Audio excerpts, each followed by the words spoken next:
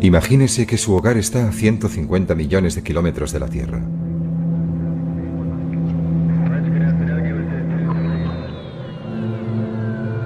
Se han establecido los primeros asentamientos humanos en otros lugares del sistema solar.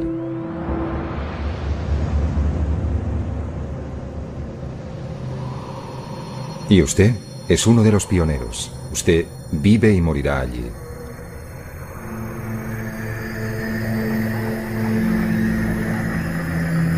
Bienvenido al futuro fuera de nuestro planeta madre.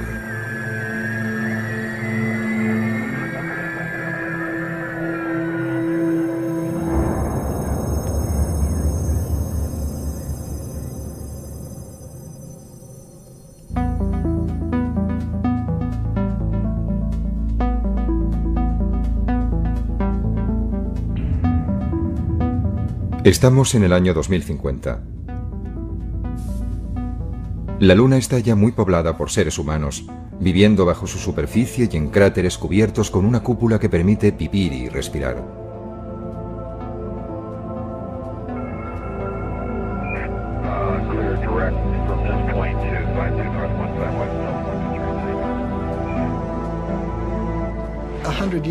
Dentro de 100 años, cuando mis nietos vayan a visitar a alguien en la Luna o vayan a vivir allí, no vivirán en estériles e inertes estructuras metálicas, al igual que a nosotros no nos gustaría hacerlo, ¿sabes?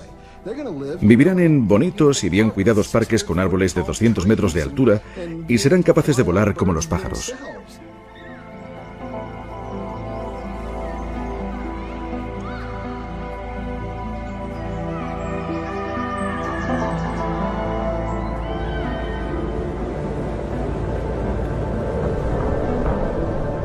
La vida importada de la Tierra está comenzando a arraigar en un planeta donde no ha llovido desde hace casi 4.000 millones de años. Ahora imaginemos Marte. Allí la naturaleza tal como la encontramos es estéril, pero nosotros tenemos la oportunidad de introducir la vida. Por eso cuando pienso cómo es Marte en la actualidad, pienso en un mundo hermoso y muy interesante que me gustaría estudiar con profundidad. Pero cuando imagino Marte con vida, encuentro que es aún más interesante y más valioso en un sentido mucho más profundo. Más tarde, comenzarán a trabajar urbanistas en la superficie marciana, creando un nuevo hogar para los colonos que hayan hecho el mayor viaje de ida, sin vuelta, de sus vidas.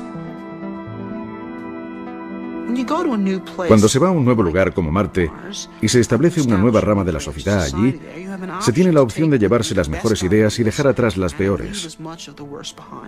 Y la gente que colonice Marte no deseará volver a la Tierra. Desearán vivir en Marte y desarrollar su futuro allí o quizás incluso más allá, en otro punto del sistema solar.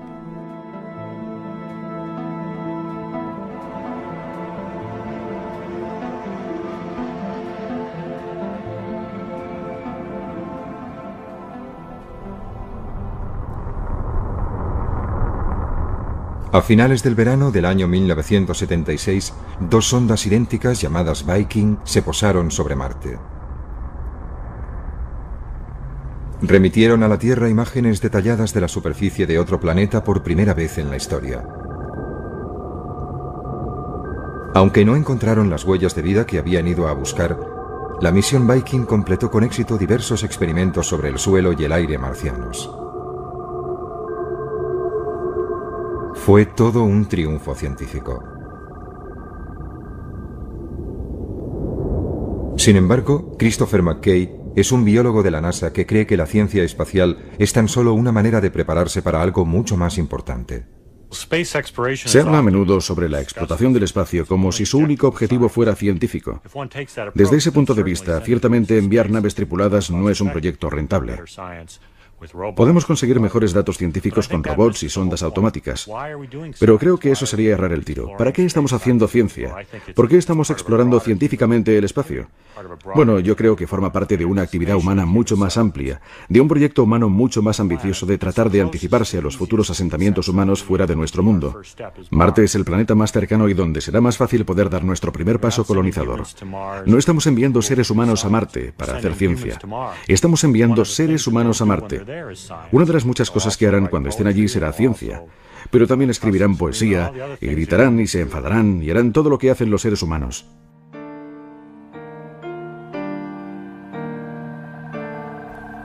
La misión Viking fue diseñada para durar tan solo tres meses, pero sus módulos orbitales y de aterrizaje enviaron un enorme flujo de datos durante seis años, incluyendo más de 50.000 fotografías que cubrían el 97% de la superficie de Marte.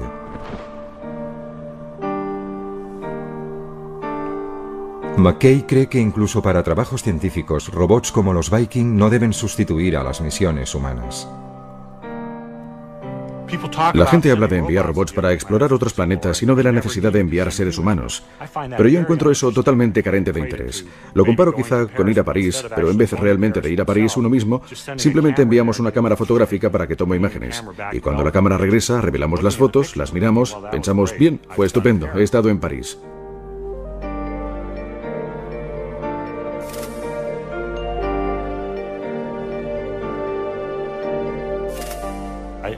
Pienso que es, que es la presencia humana.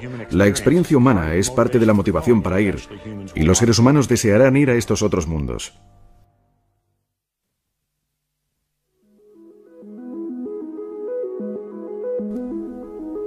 Pero, ¿por qué habríamos de dar el siguiente paso de establecer colonias humanas en otros planetas? Robert Zubrin es un ingeniero espacial que ha ideado una manera de enviar a los primeros seres humanos a Marte pero no desea pararse allí. Para él, Marte es en el siglo XXI la nueva frontera, un lugar que aguarda ser habitado por colonos llegados desde la Tierra. La frontera en la Tierra está cerrada. Pienso que a menos que la humanidad quiera llegar a una era de estancamiento, tenemos que estar dispuestos a alcanzar una nueva frontera. Y la nueva frontera está ahí fuera, en el espacio, y particularmente en Marte. Pero colonizar Marte es fundamentalmente un acto de creación. Lo que haremos es crear una nueva rama de la civilización humana, una nueva rama de la cultura humana. Es decir, no estamos haciendo esto por nosotros, lo estamos haciendo por ellos, lo estamos haciendo por los marcianos. ¿Es todo esto posible?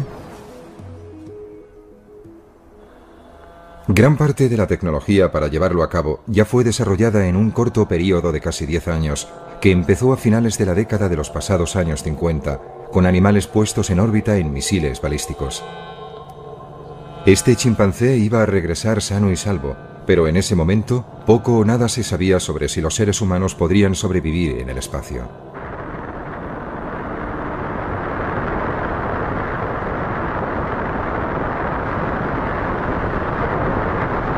Entonces, a principios de la década de los 60, el presidente estadounidense John Kennedy creyó que el premio más grande del decenio estaba a su alcance. El tren con destino al espacio estaba a punto de partir. Hace muchos años, al gran explorador británico George Mallory, que murió en el monte Everest, se le preguntó por qué quería escalarlo. Él contestó, porque está allí. Bien, el espacio está allí y vamos a escalarlo. Y la Luna y los planetas están allí. 1962. Kennedy ofreció este discurso en la Universidad Rice y todavía resuena. Porque esa meta servirá para organizar y para medir lo mejor de nuestras energías y de nuestras habilidades. Fue probablemente el discurso más brillante de la oratoria política estadounidense del siglo XX directo donde más dolía. Tenemos que estar dispuestos a aceptar desafíos como este. Y además hay que mantenerlos y cumplirlos. Y Kennedy y su generación estaban dispuestos a ello. Hemos elegido ir a la Luna. Hemos elegido ir a la Luna.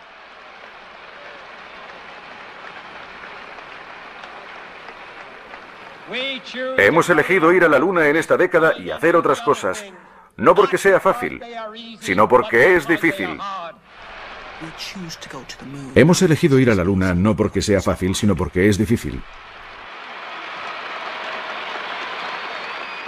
Era un acto de fe y de una gran capacidad de visión, porque no se sabía qué beneficios nos aguardaban, pero el espacio estaba allí e íbamos a escalarlo. El programa espacial fue uno de los puntos culminantes del optimismo del siglo XX una embriagadora mezcla de tecnología punta y osadía humana que hizo que todo pareciera posible. Primero la Luna, siguiente parada, las estrellas. ¿Cuáles fueron los beneficios del programa Apolo? Ciertamente no consistió solo en conseguir unos 50 kilos de piedras lunares. El verdadero beneficio del programa fue que toda una generación se inspiró en él para incorporarse a carreras científicas por la oferta, por la posibilidad de participar y formar parte de la gran aventura espacial, de ser pioneros. Eso es un hecho. Yo fui uno de ellos. Yo tenía nueve años cuando Kennedy hizo su discurso, su llamada para enviarnos a la Luna. Yo fui uno de los niños del programa Apolo.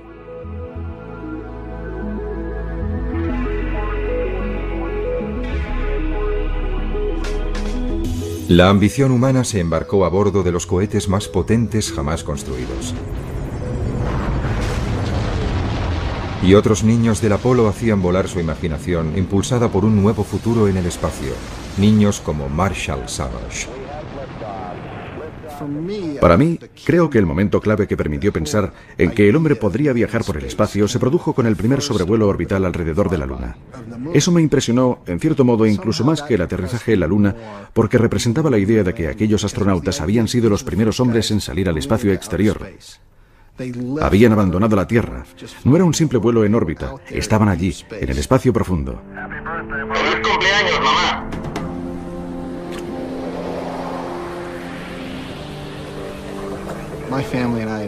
Mi familia y yo nos habíamos tomado un año sabático y viajamos por Europa en una furgoneta Volkswagen. Creo que fuimos la primera familia yuppie que también fue hippie de toda la historia. Estábamos en Nochebuena de 1968, en la isla de Rodas. Un tiempo horrible, lloviendo a cántaros. Y el exterior absolutamente oscuro. Estábamos apiñados en nuestra pequeña cápsula que nos servía de soporte vital. Y escuchando la radio oímos a estos individuos, estos hombres, los primeros astronautas verdaderos, y su voz parecía proceder de ultratumba, de las profundidades del espacio. Yo no fui educado en un entorno religioso, pero cuando empezaron a leer el libro del Génesis, y allí estábamos escuchando a esos muchachos en Nochebuena desde el espacio exterior por primera vez. Dios en el principio creó el cielo y la tierra. La tierra no tenía forma y estaba vacía. Las tinieblas cubrían el abismo y el Espíritu de Dios se desplazaba sobre las aguas. Y dijo Dios, que se haga la luz. Me conmovió y algo en mi interior me dijo que así era el futuro. Y no solamente el futuro de la humanidad, sino mi futuro personal. Estos individuos me estaban hablando a mí.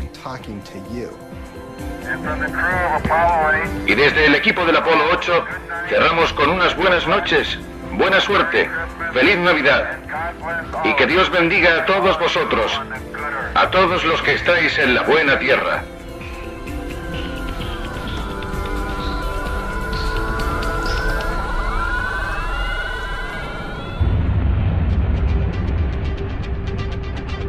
Al partir el Apolo 11 hacia la Luna, el 16 de julio de 1969, el monte Everest de Kennedy estaba a punto de ser conquistado apenas ocho años después de que se anunciara la carrera hacia la superficie de la Luna.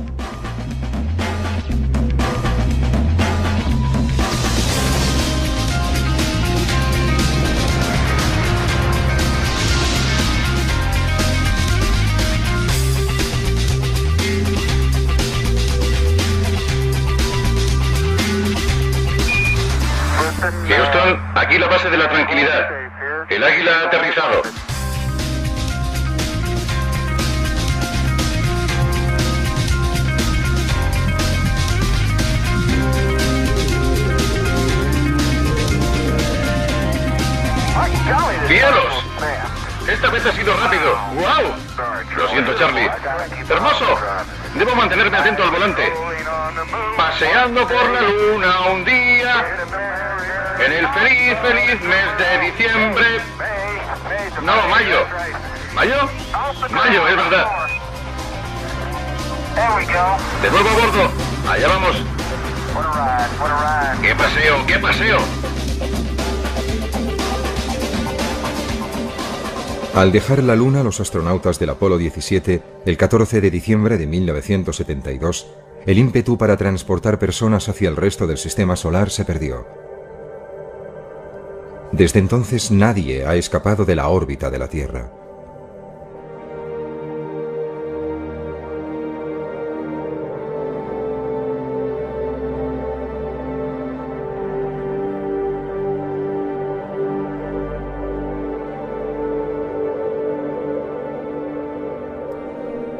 Deberíamos estar ya en Marte. Si hubiéramos continuado el programa espacial en la misma línea que el programa Apolo de finales de los 60, hubiéramos llegado a Marte en 1981. Teníamos ya la capacidad para colonizar la Luna entonces. Teníamos el 85% de la capacidad que necesitábamos para establecer personas en Marte y entonces se quemaron las naves. Es como si Colón hubiera vuelto al Nuevo Mundo habiendo hecho el descubrimiento y Fernando e Isabel le dijeran, bueno, ¿y qué?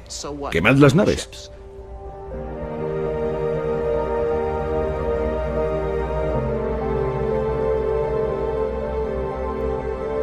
En los institutos y en las universidades, decenas de miles de jóvenes esperaban poder satisfacer sus ambiciones como astronautas. Para ellos el espacio era el futuro. Hacia el final de su adolescencia, Marshall Savage se convenció de que se enrolaría en la próxima y más peligrosa aventura, ir más allá de la Luna. Básicamente solo quería ir a Marte. No me importaba si era el primero o el quincuagésimo o el número 5000. Solo deseaba ir a Marte. Parecía una ambición noble y alcanzable en esa época. Iba a haber una estación espacial permanente para 100 hombres en órbita, una colonia permanente en la Luna y hombres en Marte a principios de la década de 1980, lo que se ajustaba de maravilla a mi agenda. Pero bueno, la historia tomó un rumbo totalmente distinto. Todo el programa espacial a partir del Apolo fue cancelado y no íbamos a ir a ningún sitio.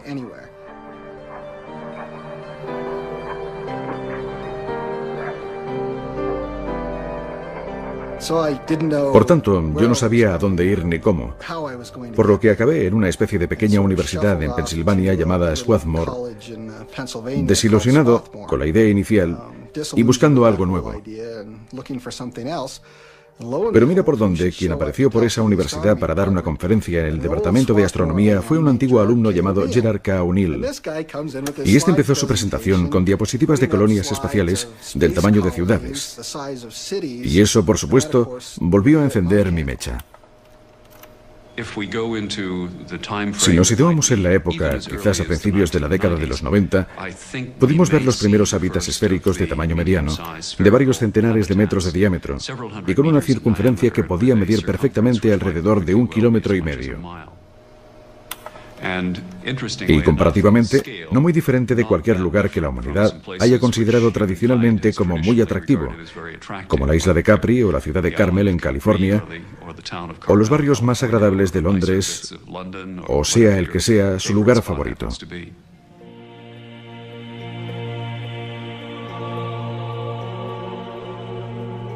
Gerard K. O'Neill fue un profesor de física brillante y respetado en la Universidad de Princeton en New Jersey.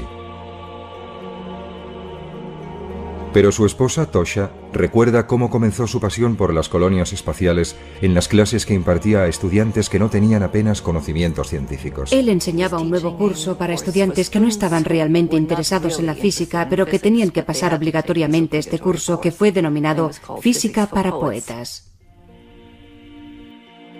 Mientras los primeros hombres aterrizaban en la Luna en 1969, O'Neill comenzaba casi como una broma a hacer a sus estudiantes una pregunta acerca de abandonar la Tierra. A largo plazo, ¿es la superficie de la Tierra realmente el mejor lugar para una civilización tecnológica en expansión? ¿Es una superficie planetaria el mejor lugar para una civilización en expansión? Y la respuesta resultó ser no. Gerard O'Neill quería construir sus ciudades espaciales en una órbita entre la Tierra y la Luna. Él denominó este lugar la Alta Frontera. Pero primero, él debía conseguir que su idea fuera tomada en serio. Tardaría cinco años y casi sucedería por accidente tras una reunión en Princeton. Jerry decidió que sería agradable conseguir, bueno, reunir a tanta gente como se pudiera que tuviera interés en estos temas. Y Walter Sullivan, que era entonces el principal redactor científico del New York Times, creyó que era una noticia lo suficientemente atractiva como para publicarla. Y lo hicieron en la primera página del New York Times, lo que cambió radicalmente nuestras vidas. Pero su sueño de vivir en colonias humanas girando libremente en el espacio nunca fue más allá de unas meras recreaciones artísticas y maquetas. Murió de leucemia en 1992. A Jerry, por supuesto, le habría encantado haber ido. Siempre hablamos de ir juntos. Deseé tener el primer restaurante espacial. Ese fue siempre mi sueño. Probablemente no sucederá nunca, pero espero que todavía consiga ir. No soy demasiado vieja, nunca se sabe.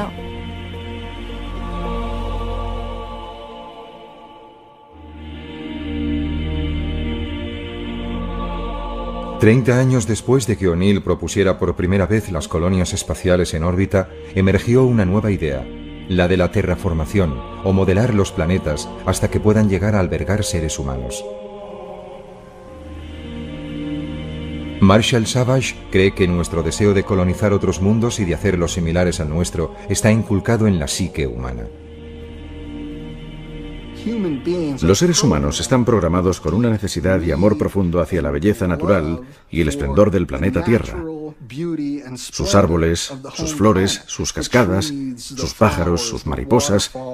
Estas son las cosas que realmente nos conmueven. Y también es lo que caracterizará la experiencia humana de la colonización espacial de aquí en adelante. Y lo que asombrará a la gente, creo, es cuán natural y similar a la Tierra como un paraíso será esa forma de vida.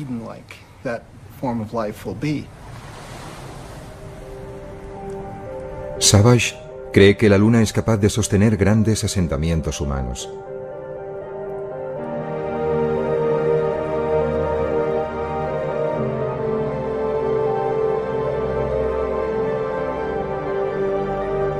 Pero ¿cómo creamos un mundo similar a la Tierra para que viva la gente en un lugar tan estéril y sin atmósfera como es la Luna? Una manera es transformar los cráteres en biosferas, islas autónomas de vida.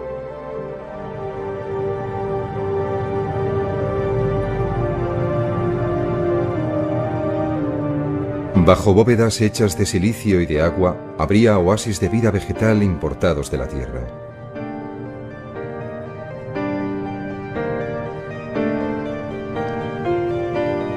Las personas que vivan en la gravedad de la Luna soportarían solo una sexta parte de su peso en la Tierra. Por eso, en estas bóvedas ligeramente presurizadas, un sueño ancestral podría convertirse en realidad.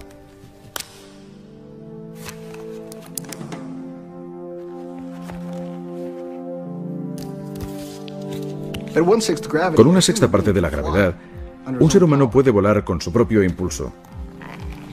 Al ponerse y ajustarse unas alas de seda, se podría despegar desde la rama de cualquiera de esos gigantescos árboles.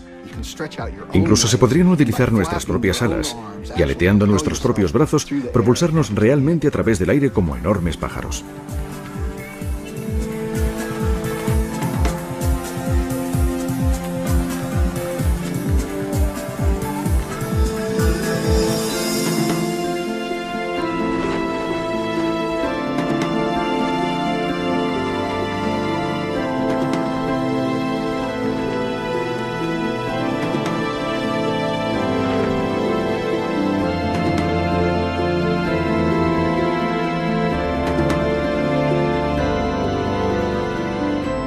Se sabe que la Luna es rica en materias primas como el hierro, el aluminio y el agua congelada, con suficiente cantidad para que Marshall Savage piense que puedan llegar a construirse industrias en la Luna.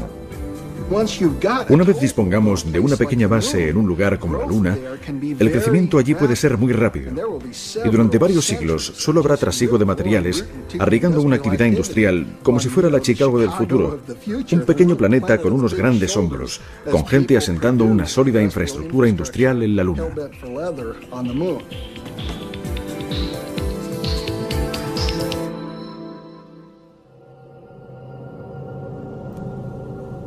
Más allá de la Luna, el primer candidato para ser colonizado es Marte, pero es un mundo complicado. La temperatura global media es inferior a los 25 grados centígrados bajo cero. Y en los polos cubiertos de hielo puede caer hasta por debajo de 90 grados bajo cero. Pero hay pruebas de que Marte fue alguna vez un planeta húmedo y más cálido, no muy distinto de la Tierra. Las cicatrices de su superficie sugieren que alguna vez fue surcada por ríos y mares. ¿A dónde fue a parar el agua entonces? Un poco de ella se halla aprisionada en los dos casquetes polares, pero también pudiera ser que existiera atrapada bajo su superficie. Marte tiene también otros ingredientes que harían posible una terraformación, y no solo en el interior de algunas cúpulas, sino en el planeta entero. Marte tiene todos los recursos necesarios para albergar la vida en su superficie. De alguna manera, hay carbono, dióxido de carbono, agua. Ahora está congelada, pero ya idearemos cómo derretirla. Hay nitrógeno, luz solar. Todos los recursos precisos para sustentar la vida están disponibles y quizá incluso para hacer un planeta independiente económicamente. Y el desafío siguiente es calentar el planeta y hacer que estos elementos pasen de su estado congelado actual en la superficie a la atmósfera de nuevo. Y hemos aprendido cómo hacerlo eso en la Tierra. Estamos lanzando a la atmósfera gases que provocan el efecto invernadero de manera miles de veces más efectiva que el dióxido de carbono y que crean un manto alrededor de la Tierra que la mantiene caliente. Ahora en la Tierra eso quizás no es una buena idea, pero en Marte es justo lo que necesitamos para calentar ese mundo, para derretir su hielo y para lanzar todos esos elementos de nuevo a la atmósfera. Para fabricar estos gases se necesita carbono, hidrógeno, cloro y flúor. Todos estos elementos pueden estar disponibles en Marte. Podrían ser extraídos desde la superficie de Marte, puestos en sus debidas proporciones en fábricas robotizadas y después ser bombeados a través de chimeneas en enormes cantidades. Pondrían en marcha un efecto invernadero autoalimentado. Los casquetes polares se derretirían y la superficie de Marte sería transformada en algo que se parecería mucho a la Tierra. Aparecerían grandes océanos y lagos, y la atmósfera comenzaría a espesarse y a cambiar. La temperatura media en la superficie de Marte se elevaría desde 25 grados bajo cero a algunos grados por encima del punto de congelación.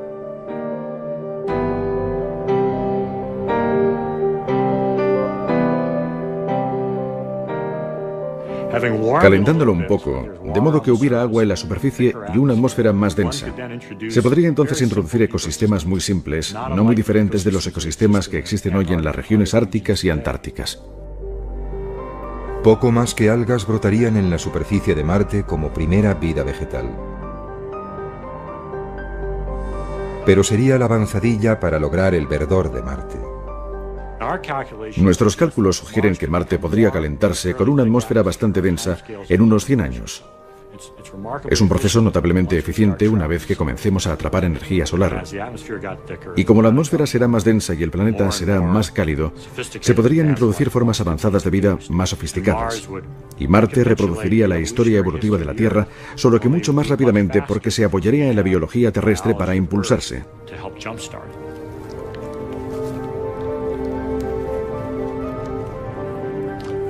Es posible que si Marte fuese lo bastante cálido, quizá dentro de 100 años o algo así, podrían desarrollarse verdaderos bosques.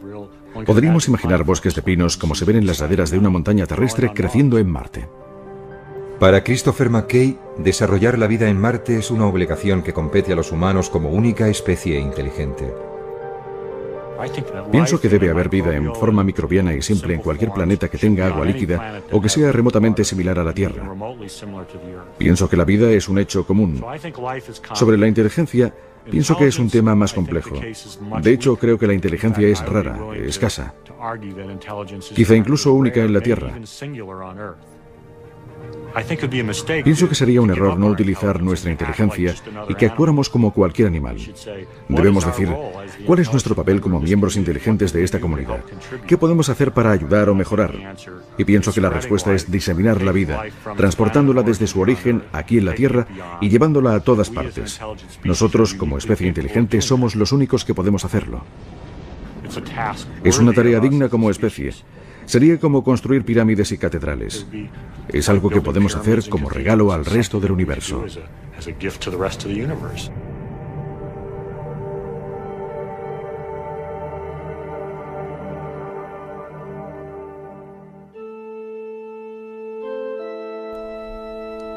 Marte sería como todas las fronteras a las que los seres humanos han hecho frente, desafiante, acogedora, peligrosa.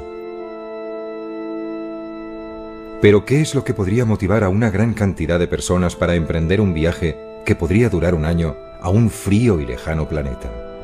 Una respuesta se puede encontrar entre las reliquias de la historia reciente de los Estados Unidos. En el siglo XIX, una idea arraigó en los Estados Unidos que vio cómo centenares de miles de hombres y mujeres embarcaban en carruajes y trenes hacia el oeste. Y no fue únicamente para buscar fortuna, sino que entendieron que podrían formar parte de algo magnífico, el establecimiento de una nación basada en principios de progreso y libertad, y toda esa gente deseó ser parte de ella.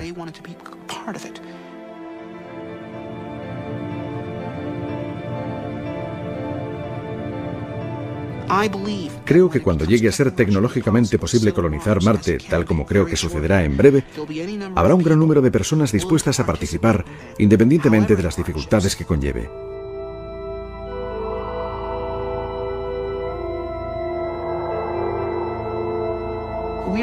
Los Estados Unidos son una nación que fue creada por gente que estaba dispuesta a abrazar el desafío de asumir nuevas fronteras.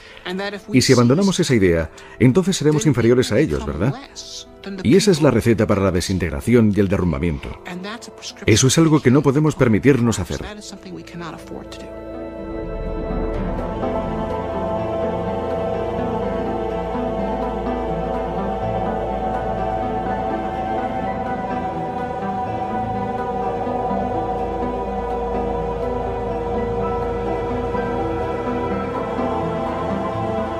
Robert Zubrin ha ideado una manera de transportar a los primeros seres humanos a Marte de forma relativamente barata conocida como Marte Directo. Es una idea que ha sido bien acogida por la NASA. Utilizaríamos la misma técnica para explorar Marte que la que utilizaron los pioneros en la Tierra, que es viajar ligeros y vivir de la propia Tierra. Primer lanzamiento. Enviaríamos a Marte un vehículo con capacidad de regresar a la Tierra, pero sin nadie en su interior. Tras ocho meses de viaje, llegaría a Marte.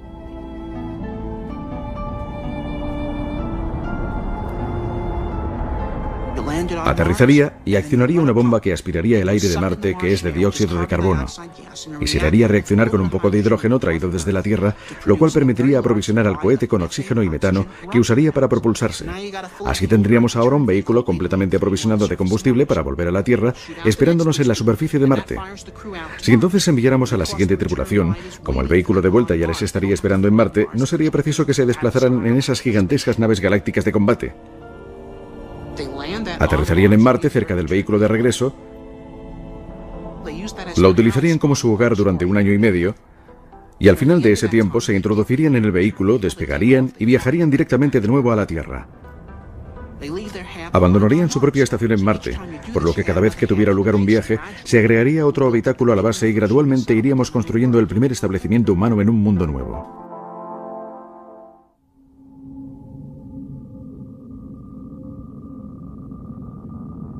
La enorme distancia a Marte impide que los suministros puedan ser transportados regularmente desde la Tierra. Por eso, los primeros colonos deberán excavar para extraer materiales de construcción, almacenar agua, fabricar oxígeno y hacer crecer su alimento directamente de Marte. Pero pronto dominarían las técnicas para vivir de la Tierra.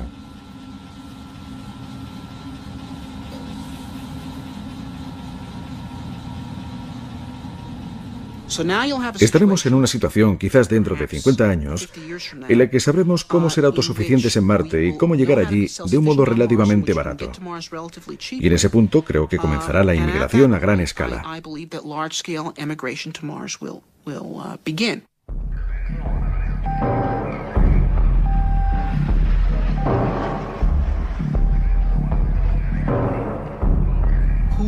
¿Quién lo hará? Bien, podrían ser aventureros o refugiados. Podrían ser miembros de una secta religiosa que precisen tener un lugar donde ir para hacer su propio mundo. Una vez que llegue a ser posible ir, la gente irá. Creo que 50 años después tendremos más de un millón de personas viviendo en Marte.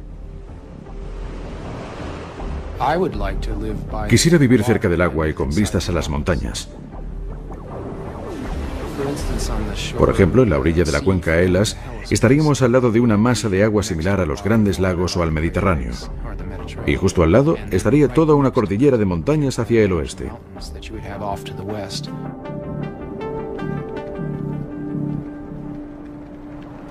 Desde su hogar, situado en el norte de California, el escritor de ciencia ficción Kim Stanley Robinson imaginó cómo sería la vida en un Marte terraformado. Pero la inspiración para sus novelas procede de las imágenes emitidas por la sonda Viking de unas tierras desoladas y áridas. Me interesó de Marte su aspecto salvaje. Estoy interesado en pasar tiempo en las montañas por encima del arbolado y en los desiertos del oeste americano.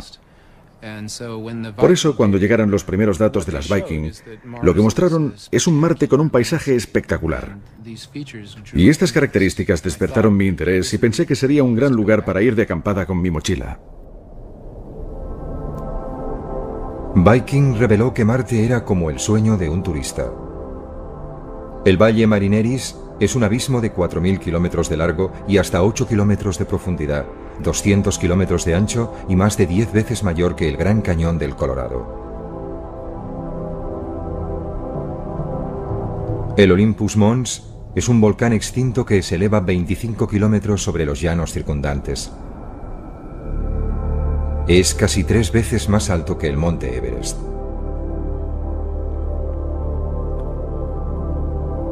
Con toda su variedad, Marte es hoy un enorme desierto vacío. ¿Debería permanecer así? Robinson prevé una batalla entre los defensores de un Marte rojo sin tocar y aquellos que prefieren un Marte verde y vivo. El conflicto rojo-verde en mis novelas tiene que ver con la idea de que habrá gente que se enamore de Marte tal como está ahora y la idea de terraformarla le sonaría a sacrilegio.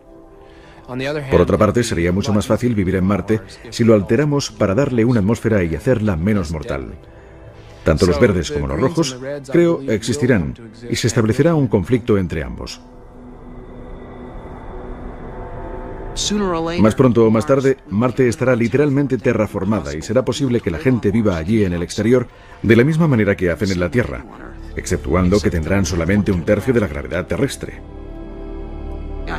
Pienso que los marcianos del futuro se preguntarán por qué hay gente que quiere vivir con nuestra fuerza de gravedad, tal como hacemos nosotros ahora, teniendo que esforzarse tanto para moverse en vez de simplemente pegar un salto para subir de un piso a otro, como una gacela o un canguro.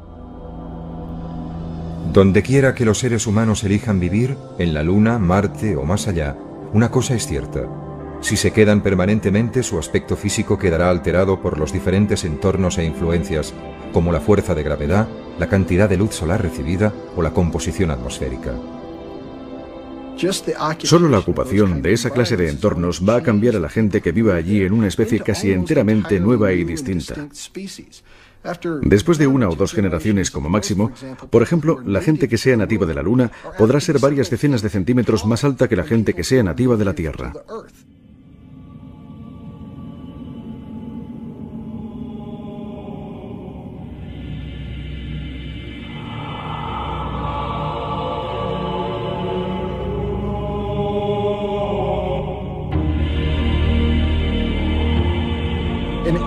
Si no les importa sufrir la considerable molestia de mantener la infraestructura esquelética y muscular que se necesita para soportar la gravedad terrestre y básicamente decir, bueno, vivo en la Luna. Y sabe, nunca me voy a desplazar a la Tierra excepto en vídeo o mediante dispositivos oculares holográficos. Voy a ser un selenita. Bueno, estas personas van a ser muy altas y muy delgadas, con una musculatura mínima, y después de cierto número de generaciones podemos encontrarnos literalmente con que los genotipos han evolucionado en una dirección propia diferente.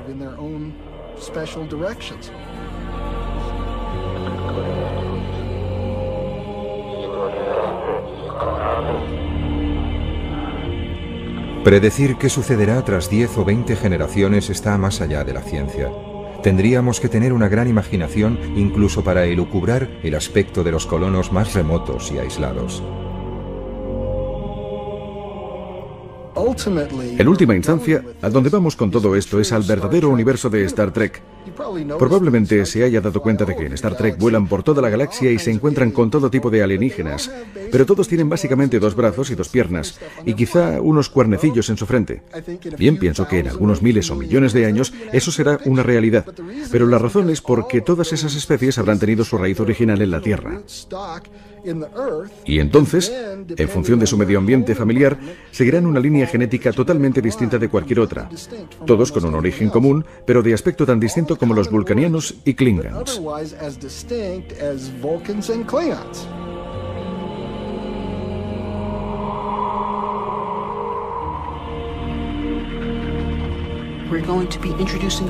Vamos a introducir variaciones en la especie humana.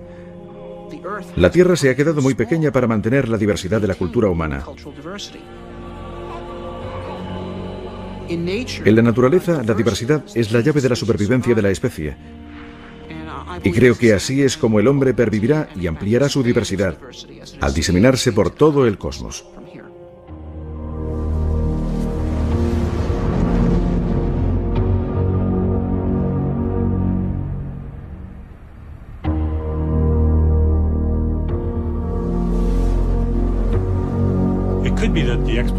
Pudiera ser que la exploración del espacio fuese inevitable. Hablamos de seres humanos y de su curiosidad natural para explorar, pero esta podría ser una característica más fundamental de la vida en sí misma. La vida podría ser un fenómeno que, por ejemplo, como un fuego, necesita crecer constantemente para mantenerse. Tiene que arder constantemente para que se mantenga. La vida puede ser así también. Puede ser que necesite estar constantemente en expansión y en crecimiento hacia nuevas fronteras para permanecer viva como un sistema global.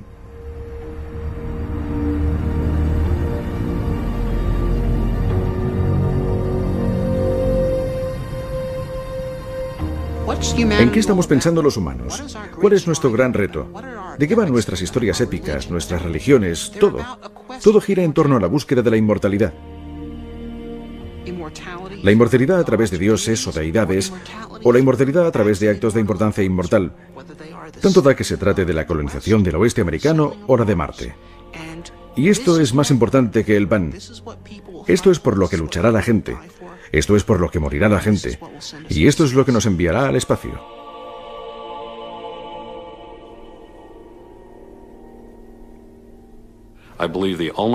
Creo que la única manera de salir al espacio es haciendo el espacio rentable. Si se desea ir al espacio para quedarse, tiene que ser una empresa rentable. En Steamboat Springs, Colorado, Estados Unidos, Jim Benson está planeando cómo ganar dinero gracias al espacio. En 1990 o 1991, mientras leía el Washington Post, vi un pequeño artículo. Se había encontrado un asteroide, el Dorado, y resultó ser una bola sólida de acero inoxidable valorada en 80 billones de dólares. Y pensé, bien, si este asteroide vale 80 billones de dólares, debo averiguar si hay más como él. Casi 500 asteroides han sido descubiertos hasta ahora pasando cerca de la órbita de la Tierra. Poco se sabe sobre ellos, pero todos podrían ser inmensamente ricos en minerales. Los asteroides metálicos me fascinaron porque tienen concentraciones muy altas de oro y de todos los metales del grupo del platino. Pero es extremadamente difícil extraer el metal de ellos. Llegaríamos a una montaña de acero inoxidable y resultaría casi imposible hacerla pedazos o excavarla. Pero Benson se dio cuenta de que algunos asteroides contenían algo incluso más valioso que los metales preciosos, el hielo, que podría convertirse en agua e hidrógeno que sirvieran de combustible para cohetes en el espacio exterior. Sin el elevadísimo coste de transportar el combustible desde la Tierra, la colonización del espacio sería una empresa más realista.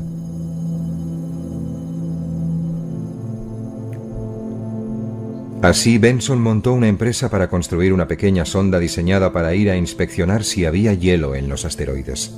Él quería algo que fuera seguro y barato. Uno de los aspectos clave de nuestra sonda que inspeccionará asteroides es que no estamos haciendo nada nuevo. Toda la tecnología que estamos utilizando se ha utilizado antes. Es tecnología de penúltima generación. Esto resulta más atractivo para el inversor porque podemos hacerlo más barato. Estoy haciendo esto para abrir el espacio a la humanidad y también para ganar dinero con ello. Hola, Jim Benson. Creo que las empresas comerciales pueden ganar dinero en el espacio. Y una vez que lo hagamos, todos verán que puede ser así. Y eso ampliará la visión de futuro para toda la gente que desea salir, construir colonias espaciales, extraer minerales de los asteroides y vivir en la Luna o en Marte. Jim Benson hizo su primera fortuna en el negocio de los ordenadores. Está convencido de que va a hacer su segunda en el espacio. Si retrocedemos 20 años, al principio de la revolución de los ordenadores personales, nadie sabía qué estaba sucediendo. Nadie sabía quiénes serían los ganadores o los perdedores. Pero hoy tenemos muchísimos millonarios gracias a ellos. Estamos ahora en el mismo punto con la comercialización del espacio. Cualquier cosa puede suceder y gran parte de ellas sucederán.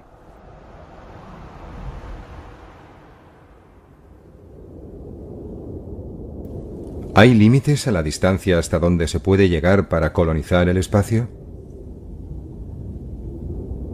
Los límites verdaderos pueden no estar basados en la tecnología, sino en nuestra propia mortalidad. Simplemente no podríamos vivir el tiempo suficiente para llegar más allá de nuestro propio sistema solar. Pero incluso esto podría superarse si pudiéramos diseñar algo lo suficientemente rápido. No estoy seguro de dónde está la frontera de las limitaciones humanas. Creo que viajar a las estrellas es posible. Entendemos la ciencia fundamental que es precisa para crear una nave interestelar. Entendemos las reacciones de fusión que nos proporcionarán la forma básica de energía que una vez que hayamos resuelto la ingeniería de cómo fabricarla, permitirá que desarrollemos naves que sean capaces de viajar a quizás una décima parte de la velocidad de la luz. Pero incluso con una nave que viajara a esa velocidad se tardaría más de 40 años en llegar al sistema estelar más cercano. Pienso que hay un límite realista en los términos que hacen factible un viaje interestelar. Mírenlo de esta manera. Lo más rápido que han viajado los seres humanos ha sido durante el programa Apolo. A esa velocidad tardaríamos un millón de años en llegar a la estrella más cercana. Así es necesario alcanzar velocidades mucho más grandes, porque si no tardaremos milenios enteros en llegar al sistema estelar más cercano. Existen propuestas en ciencia ficción para hacerlo, construyendo esas naves mundo gigantescas con miles de personas que viven en comunidades autosuficientes durante millares de años. Pero si lo hiciéramos así, le garantizo que para cuando llegáramos a la estrella más cercana, una nueva civilización se habría desarrollado ya en ella, en esa nueva estrella, poblada por gente que salió mucho antes desde la Tierra, usando la capacidad industrial de nuestro planeta para construir cohetes de antimateria o algo realmente bueno que se desplazara al 50% de la velocidad de la luz. Llegarían en ocho años, habrían construido una nueva civilización solar mientras la nave inicial seguiría en su viaje de ida. Así, en el momento en que llegaran y salieran de la nave Mundo, aparecerían como anticuadísimos seres como Rip Van Winkett, solo útiles para ser entrevistados en programas de televisión matinal. Ese sería su único impacto en esa civilización solar. Así que si no puede ir lo suficientemente rápido, mejor quédese en casa. De 1969 a 1972, solo unos pocos elegidos dejaron la Tierra. Seis misiones Apolo aterrizaron en la Luna. Tan solo 12 astronautas estadounidenses. ¡Oh, qué lugar! ¡Qué vista, ¿verdad, John? Es absolutamente irreal.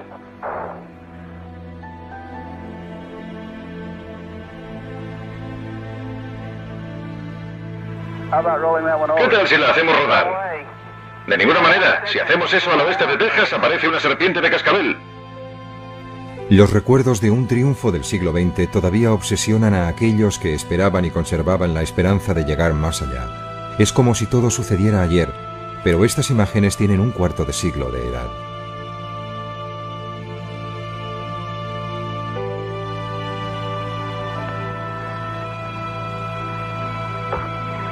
No, papá no pegará.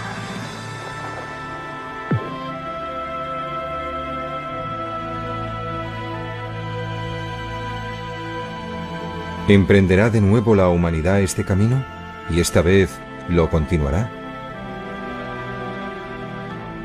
Las estrellas están a nuestro alcance. Si no nos rendimos ahora, y si decidimos ser una civilización que viaje por el espacio,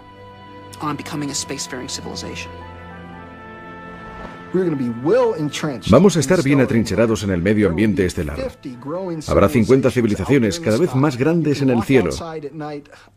Caminaremos por la noche en la Tierra y miraremos hacia arriba y nombraremos lugares físicos, la verdadera geografía del cielo nocturno de las estrellas que están habitadas y la clase de gente que vive allí. Y eso va a suceder en apenas la cantidad de tiempo que nos separa de las ondas Viking.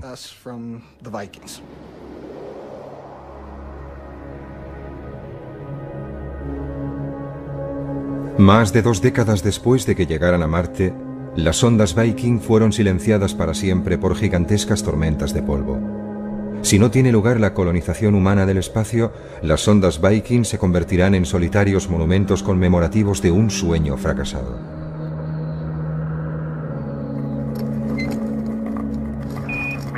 La humanidad entre las estrellas. Esto es para lo que hemos nacido y allí es hacia donde nos dirigimos. De acuerdo, Bob. Tengo mis herramientas justo aquí. Y mándame un saludo. Tenemos una vista hermosa de ese 4BN y de la Tierra a la vez. Intentaré conseguir una foto para ti. Esta transmisión está llegando desde aproximadamente medio camino entre la Luna y la Tierra. Nos queda poco menos de 40 horas para llegar a la Luna. Así es, ahí lo tienes. Un vasto y solitario tipo de existencia prohibida para la expansión de la nada. La felicidad son trocitos de tocino para desayunar. ¡Eh! ¡No te los comas todos! Houston, la belleza de este lugar es absolutamente increíble.